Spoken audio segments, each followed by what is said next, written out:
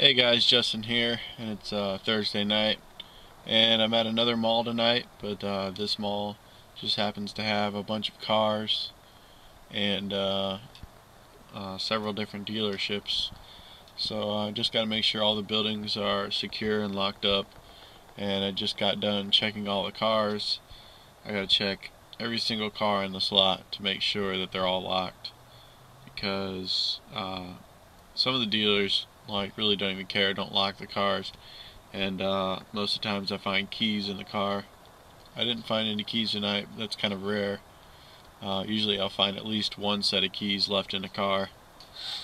Uh, but the uh, order of importance here is uh, customer cars, used cars, and the new cars.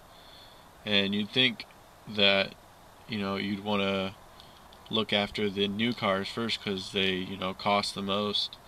And it'd be the most expensive thing to like get stolen. But the thing is that um, all the new cars and stuff are like insured or something. So like if it gets stolen or broken into it's it's the dealer's car.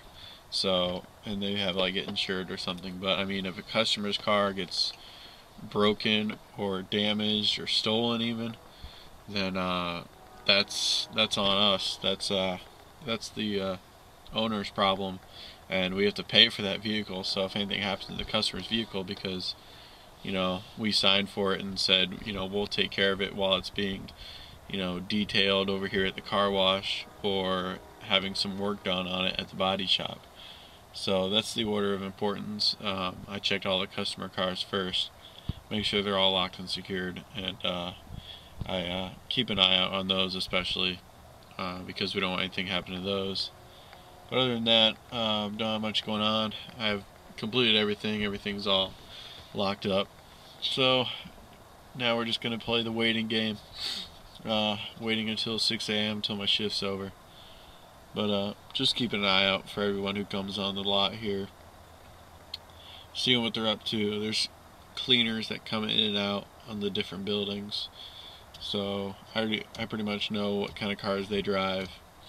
So uh, yeah, other than that, there's some people that uh, come out and look at cars late at night, especially in the weekends. They'll drive around and look at cars, so they're allowed to do that. Um, I don't like to get up on on their ass like when they pull on the property. I don't like follow them like real close because that's just like freaking annoying. So I look, I watch them from a distance, which is sounds kind of uh, creepy, even more creepy than me being right up on them. But I just I'm not gonna bother them if they're just looking around.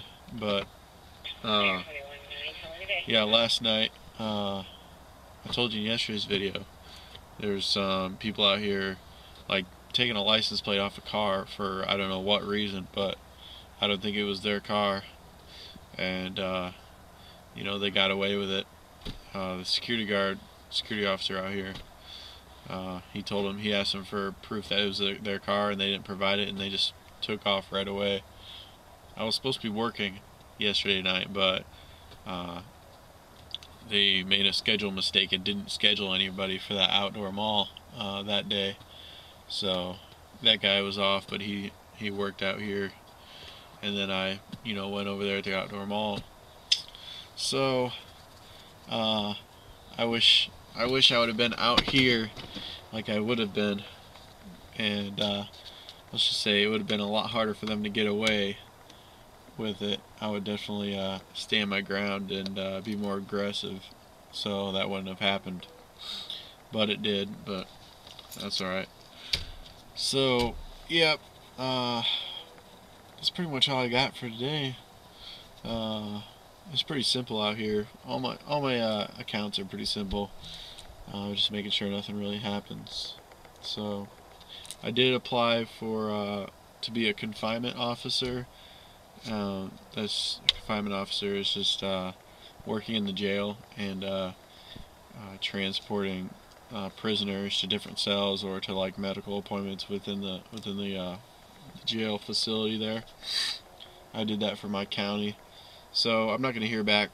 Well, I'm hoping I hear back, but if and if I do, it won't be for at least six weeks because that kind of this that stuff kind of takes forever to do. Uh, so that's all the news I really have. Uh, hopefully I'll hear back from them, but I'll definitely let you know. But anyway, I'll catch you later. See ya.